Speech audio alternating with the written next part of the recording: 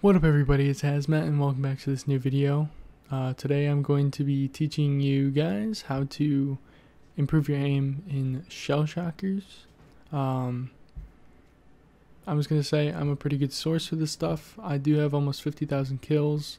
My highest streak is 87 and I have a couple hundred hours clocked on this game. Probably more than that, a few hundred hours clocked on this game. But um, yeah, today I'm going to be showing you like my five tips and tricks on how to improve your aim in this game. So let's move on. So my first tip is finding a mouse speed that you enjoy. Uh, this means that you're going to pick a mouse speed, stick with it, and not change it too much. Uh, some of you guys probably already have a mouse speed that you enjoy.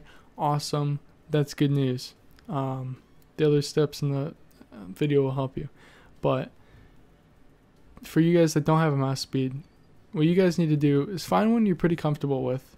Stick with it for like a week, and if you don't enjoy it, increase it or lower it based on your needs. Um, so you don't want to be changing your sensitivity too much. That could cause chaos, and you'll never like feel comfortable with a uh, sensitivity that you have.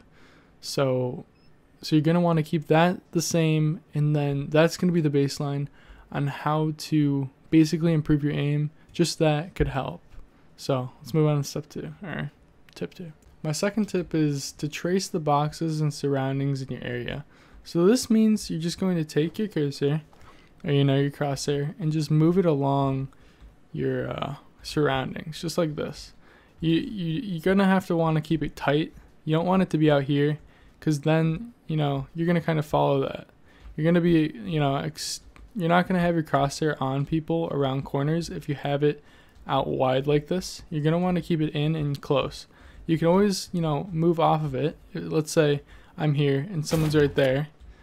I could, you know, move like this and then, you know, flick over to them.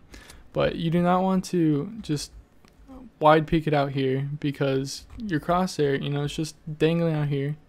Not good. All right, not good. Um, so you're just gonna want to keep, you know, tracing the surroundings and just keeping your crosshair close to you, just like this. It helps you, you know, maneuver the map, check your corners that you don't, you know, necessarily know if someone's there, and it'll just, you know, help you keep your crosshair in a good position to find kills in the near future. So, step three coming right up. My third tip is crosshair placement. This is huge when it comes to these kinds of FPS games. Well, maybe not so much Shell Shockers, but definitely other FPS games where you need to have your crosshair on the enemy about, you know, most of the time because it makes getting those kills easier. So what I see some people doing a lot of times is they have their, you know, crosshair down here pointing towards the floor. Uh, what's this going to accomplish? Is your is your enemy in the floor? Doubt it highly doubt it. So you're gonna want to keep your crosshair like up here, maybe maybe just a bit lower towards the center of an egg, but um, just keeping it you know nice and centered in the middle of your screen would definitely um, help with these kills that are on a flat surface like this. But if you are going upstairs, you are going to want to you know just kind of kind of follow the stairs and stay at that center height. So I'm not just aiming at the stairs. I mean I'm aiming at like a 45 degree angle as I'm kind of going up them. But also in some of my videos, you do see me also kind of trace that and then do like 180s and weird funky stuff. But just keep your crosshair nice and you know just in the just in the middle of everything on this game. Um, you know just trace, keep it in the middle. If you need to check in a ladder, just look up. Don't don't just go like that. You got to go up.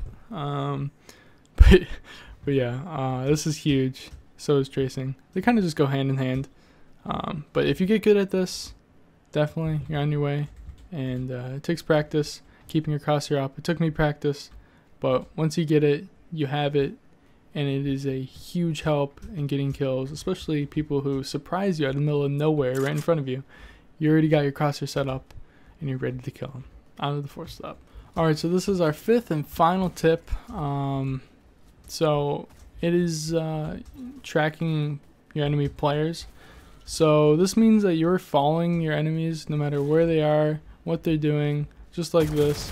You know, uh, you're just trying to like stay, you're trying to keep moving whilst, you know, inflicting damage.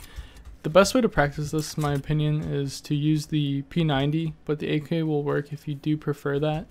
Um, it'll help with just crosshair placement, or it kind of builds off of crosshair placement. It could help, but it does just help you keep your crosshair ready and able to kill an enemy um, with also slowly kind of preventing you from getting killed because you are also moving, uh, assuming you are moving.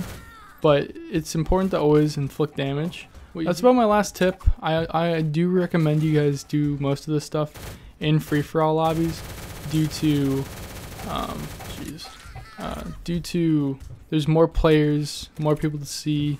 Actually, not not more players. There's just more enemies. You're, you're versing 17 other people instead of like nine when you're on teams or cap the spat.